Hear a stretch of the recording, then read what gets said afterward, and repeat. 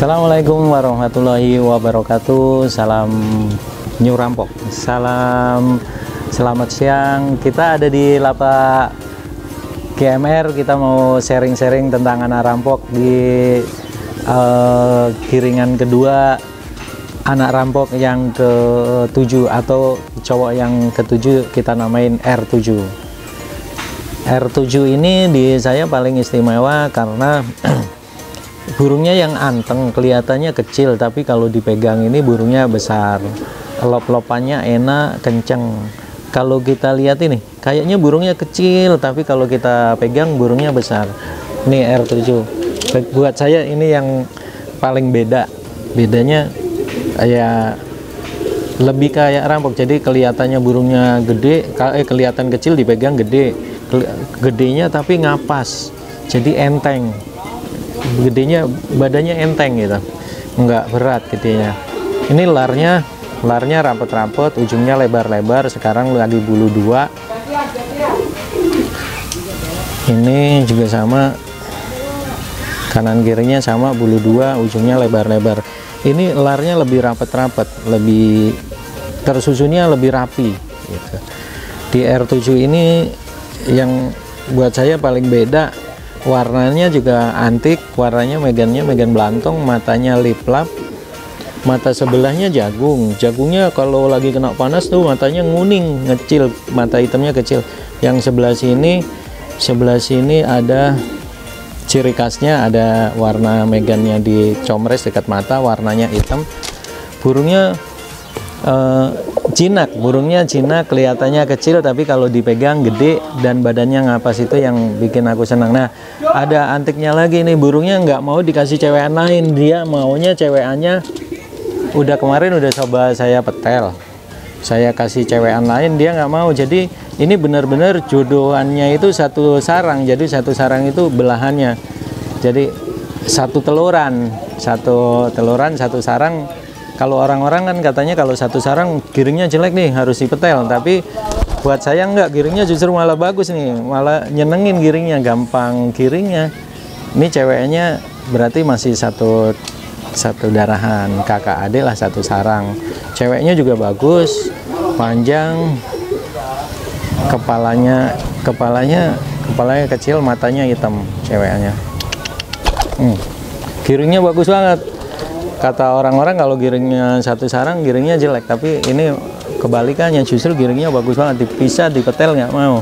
Burungnya jinak kelihatannya burungnya kayak kayak geladak itu burungnya tapi jinak. Saya senengnya dia giringnya fokus selalu anteng di atas dondang contohnya hari ini nih giringnya baru giring dua hari belum bagus banget tapi giringnya udah anteng selalu fokus sama ceweknya. Tongkrongannya buat pemain burung kayak saya menurut saya isi udah bagus banget gitu Cina burungnya enak. Nah kalau terahan ini sama anak rampok. Cewekannya pakai cewek anak eksekutor masih sama kayak burung-burung yang lain. Burungnya panjang. Enggak pendek banget lumayan sedang panjang. Panjang terus dadanya lebar. Kelihatannya burungnya kecil tapi kalau dipegang burungnya gede lap-lapannya lurus kenceng uh, prospeknya ke depannya bagus. Untuk R7 sendiri kita mau mainin mainin sendiri belum kita mau jual karena ini cewek sama cowoknya masih anak rampok semua jadi enggak kita jual. Jadi mau buat generasi penerusnya rampok jadi buat player sendiri. Untuk yang dijual tetap adik-adiknya ntar dijual mau rencana saya mau bikin uh, kayak testimoni. Jadi bisa nggak burung jodohan belahan bisa sampai juara?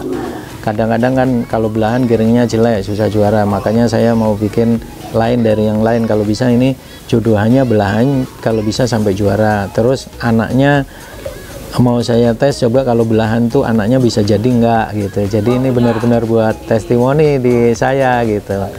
Karena kadang orang kan bilang ah kalau satu darahan dipijikin jelek gitu.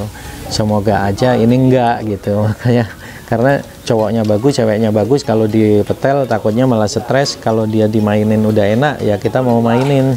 Sekalian buat pacek bener-bener biar darahnya mengalir tuh darah rampok semua. Ceweknya rampok cowoknya rampok kan darah rampok. Semoga ya jadi rampok rampok rampok piala sama amplop.